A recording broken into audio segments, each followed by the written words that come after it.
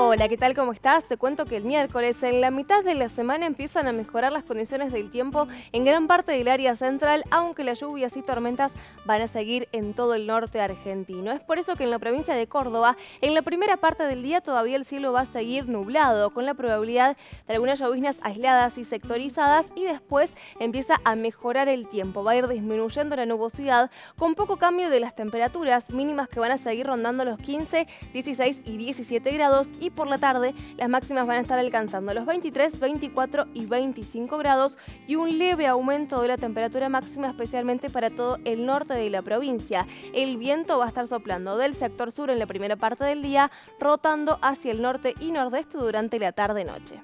Ahora sí te recuerdo que para más información puedes ingresar a infoclima.com. Hasta la próxima, muchas gracias.